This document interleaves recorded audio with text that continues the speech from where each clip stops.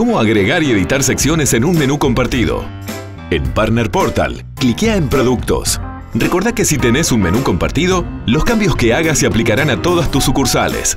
Para agregar una nueva sección, cliquea sobre el botón Agregar, ubicado en la parte superior del listado de secciones y grupo de opciones. Selecciona Sección del listado que se despliega. Ingresa un nombre para la sección. Presiona Guardar y se te preguntará si aceptás crearla para todos los locales que comparten el menú. Confirma y listo. La sección ya fue creada.